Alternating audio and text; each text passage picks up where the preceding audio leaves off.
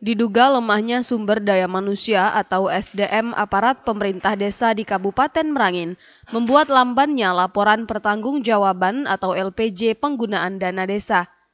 Tercatat untuk LPJ dana desa tahun 2015 hingga saat ini baru sekitar 50 persen pemerintah desa yang baru menyerahkan LPJ. Padahal dana desa sudah dicairkan 100 persen. Persen pertama sudah semua. Hmm. 40 persen kedua hampir kelar.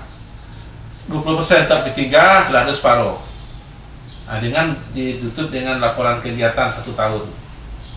Jadi ya. sudah lebih 50 persen ya? Sudah, ya. Sudah, itu banyak tuh numpuk-numpuk. Menurut salah satu kepala desa di Merangin yang minta identitasnya tidak disebutkan, mereka mengaku masih bingung untuk membuat pelaporan penggunaan dana desa.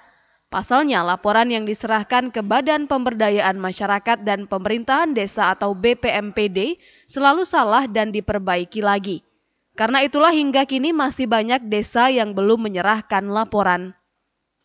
Saat ini tim dari inspektorat mulai turun ke desa untuk melakukan pemeriksaan penggunaan dana desa.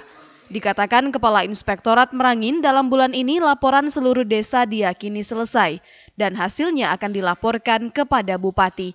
Jika ada pelanggaran tentu akan dijatuhi sanksi. Lut Hidayat, Jambi TV